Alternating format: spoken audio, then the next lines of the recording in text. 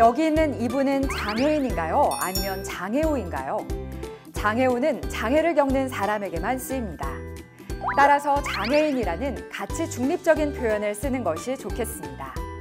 그리고 장애가 없는 사람은 비장애인이라고 해 배려의 표현을 할 수 있습니다. 우리말 바르게 경기도가 함께합니다.